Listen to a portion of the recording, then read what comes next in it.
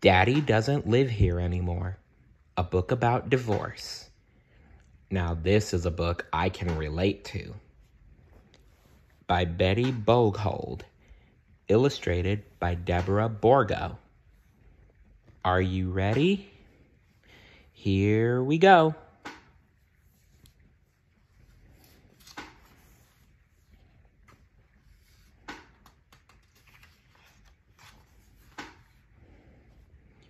Casey slowly walked home, kicking a little stone along the sidewalk.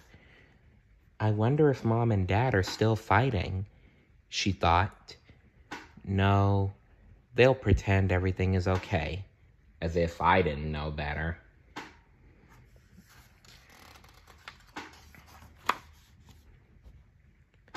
Dad's car was gone from the garage. Casey sighed. At least no one is fighting now. Inside the house, Casey's mother was vacuuming furiously. Her eyes were red and watery. Mom had been crying again. Tough beans, Casey thought. If Mom did, didn't fight so much with Dad, she wouldn't have to cry. Casey Casey banged her school books down on the hall table and went to her room. She wandered around, not wanting to draw or look at a book or play with Elmer Elephant.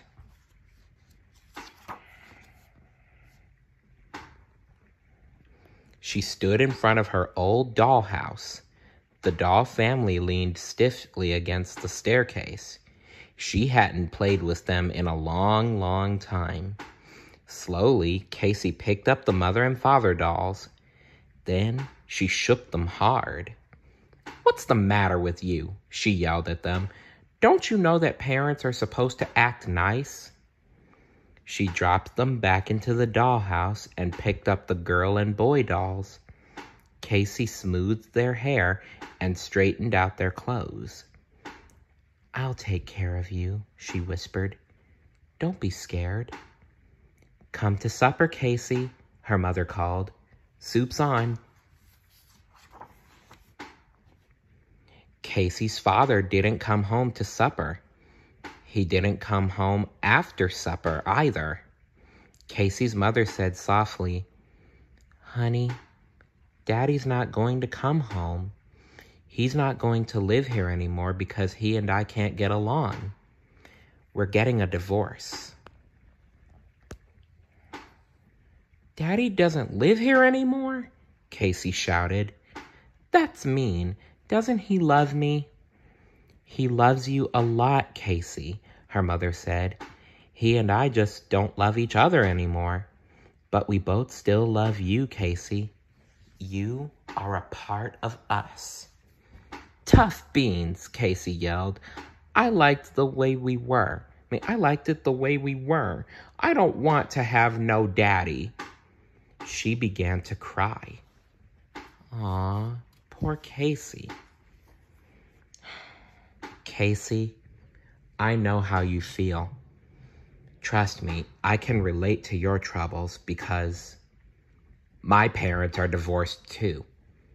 They divorced when I was about seven or eight. But I've learned to deal with it. And I'm sure you'll learn to deal with it too. Casey's mother put her arms around Casey. Hush, honey, she said. Daddy will always be your daddy. He'll just live in a different place. You'll see him lots of times, but most of the time you live with me. It's like that with me. I see my father every now and again, but most of the time I live with my mother.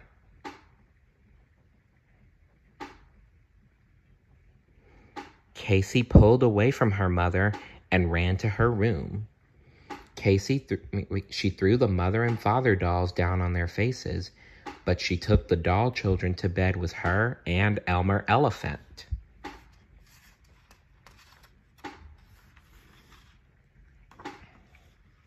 When her mother came in to kiss her goodnight, Casey pulled the covers over her head and wouldn't kiss back.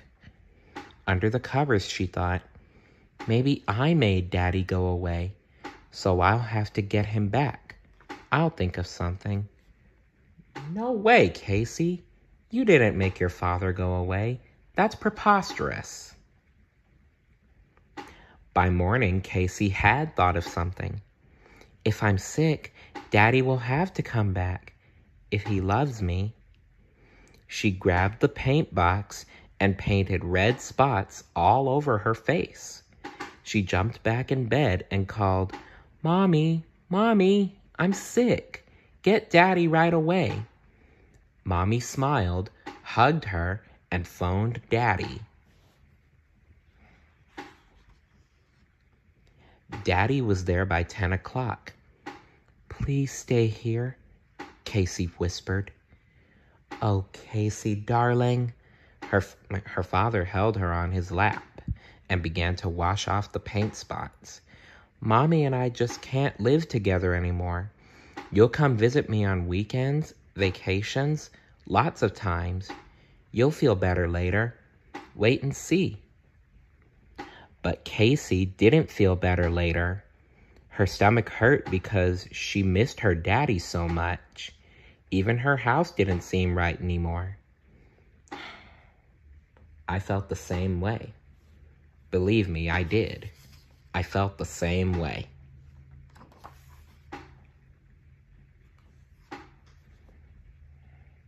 I guess mommy and daddy don't love me, Casey thought sadly, or they wouldn't make me feel so bad. Of course they love you, dear. They just don't love each other anymore. That's all. They love you very much. Maybe I'll run away. Then they'll be sorry they were so mean then we'll have to be a family again. I wouldn't recommend that. Running away never solved anything. Casey took Elmer Elephant, some coloring paper, her crayons, three chocolate chip cookies, and she ran away. Looks like her dog is joining her. She ran, she ran away across the backyard to the big forsythia bush. It was so old, its branches hung down to the ground. Casey crawled under them and hid. After a while, Elmer Elephant told her he was tired. The cookies were gone, the papers were all colored, and Casey was tired too.